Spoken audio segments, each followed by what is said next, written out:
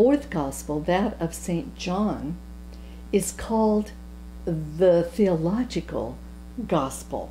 In other words, St. John, the beloved apostle, takes the basic happenings of in Christ's life, the miracles, and he adds a few like the wedding in Cana that we had not read before in other gospels and explains the meaning of these miracles. He explains the meaning of things that he said. For instance, you must be born again. He explains more about the baptism in the Holy Spirit from St. John the Forerunner. So, St. John's Gospel was given to those who had already been baptized, and by the grace of the Holy Spirit, were able to understand more deeply through this same Spirit the meaning of the salvation we have in Christ. The basic salvation is, of course, as explained even further uh, in the churches, in the letters of St. Paul to the churches he founded of the Gentiles, that the life of, of Christ, his saving message, is first of all to reconcile us with God to then overcome death by his death.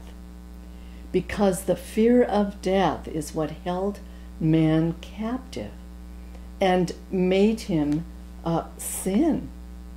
In the correct translation of Romans 5:12, we have the antecedent death correctly given in the Orthodox translations. That is, that through Adam, death came to all of mankind, not sin. Sin is not the antecedent in that verse. So Christ came to release us from the hold that the enemy had over us because of fear of death. Thirdly, the Holy Spirit comes through Christ to deify us to transform us.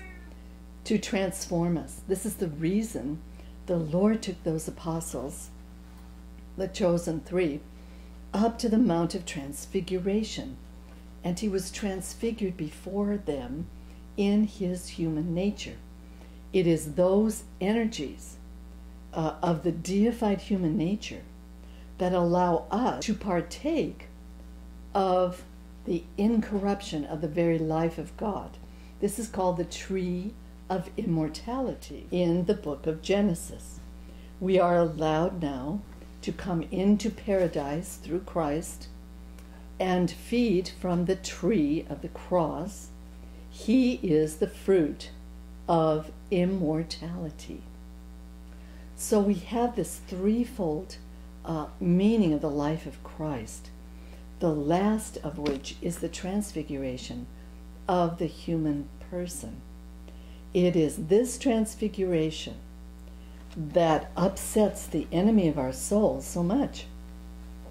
So much so that when we teach the baptism of the Holy Spirit, which allows the Holy Spirit to come in and begin this wonderful work of transformation, we have so many obstacles, arguments, uh, even to the point where a thousand years ago, when this was taught as the baptism of tears by our Orthodox fathers, uh, the abbot who was teaching this, Saint Simeon, was attacked by his angry uh, monastics that he was over.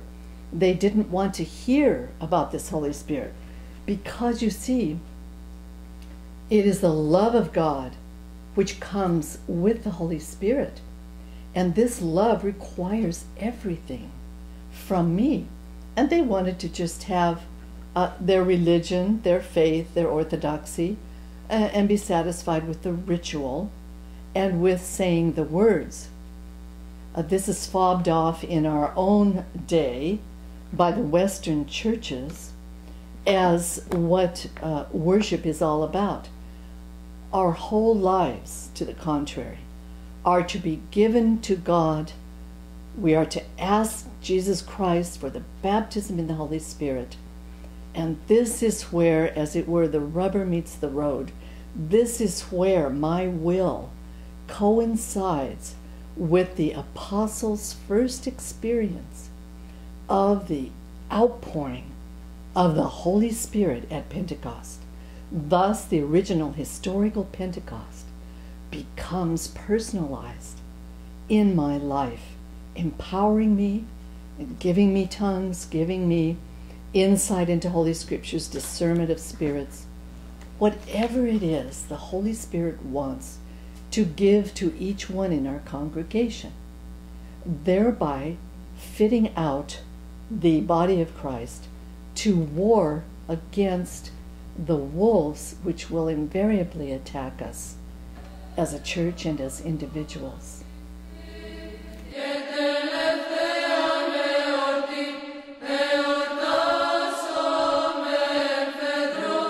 The task of the First Council of Nicaea, after the persecutions had ended and Constantine uh, was crowned king as the first Christian king, one of the major tasks was to define what the scriptural books were in the New Testament. What were the books that were the true gospels written by the apostles themselves?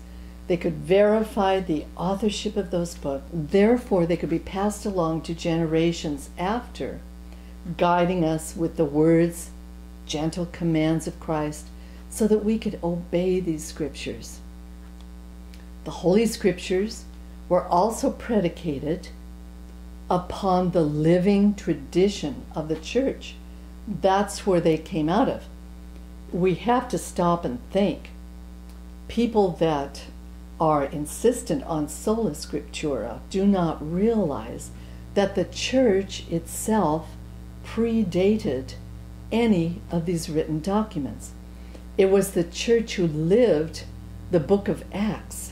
They didn't sit and read about the book of Acts. We relive in Orthodoxy the Acts of the Apostles, knowing that the same Spirit of the Lord Jesus Christ is alive in this church today.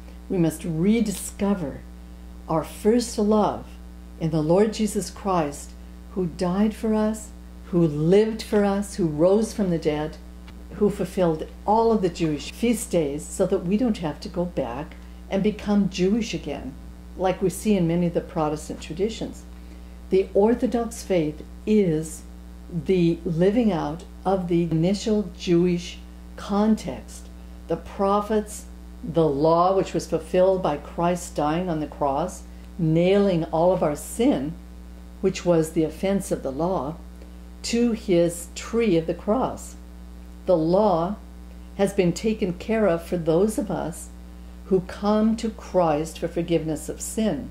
All of these feast days are seen for what they were intended to mean in the New Testament church as she lived them out, long before the scriptures, the gospels, or the epistles were written. We must point you to the same New Testament church which is called Orthodox from the time of the First Council, even until today.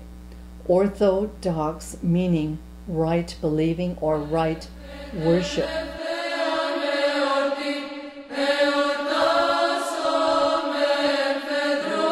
There are two false views of scriptures present in the Western denominations. The Protestant uh, denominations which flowed out of the Roman Catholic Church, the first denomination, uh, is that Scripture is not properly used. Uh, the Roman Catholic Church denigrates Scripture, and the Protestants idealize Scripture. We must understand what the Holy Scriptures are and what they are meant to be to us as Christians today